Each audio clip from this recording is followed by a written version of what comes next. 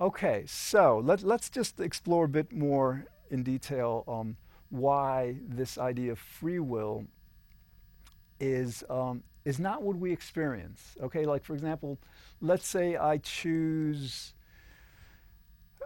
Um, I, I, think you know. Um, after these first few tapings, I've got another couple of tapings in the afternoon. I, let's say I choose. I'm choosing to go to the library, you know, and just like browse through some art books.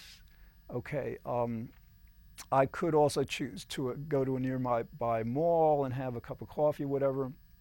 But let's say I choose to go to the library. Now, if I were to claim that was a free choice, then I would be claiming that I, I made that choice regardless of the strongest motivation, for example. You know, in other words, like there's part of me would like to go to the Galleria and have a cup of coffee and just like, you know, hang out with people there.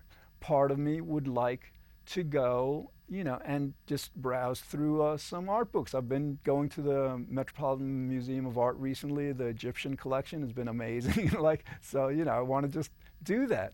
So that what happens is like the decision isn't free from that. It, you know, basically there are two competing motivations. You know, go to the, the mall and have coffee or go to the library and browse through an art book. And so what's going to happen? The stronger of those two motivations is going to win out.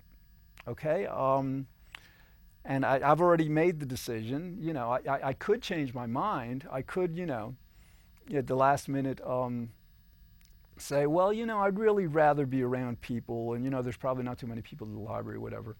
Um, and I could end up going to the to the mall for coffee. But even but then, if I would do that, that would be because then that becomes the strongest motivation. You know, whether it's because like I, I really feel the desire for coffee or to be around people, or I don't just, you know, and um, so that's the idea. It's like we don't really experience a free will. We experience a will. You know, I experience um, the will, the decision, the volition you know, to go to the library or to go to the mall, whatever, but it's not free. It's